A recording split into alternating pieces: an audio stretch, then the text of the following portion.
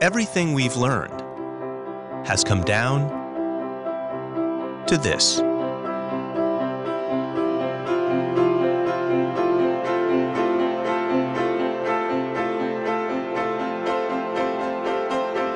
The next generation of MacBooks.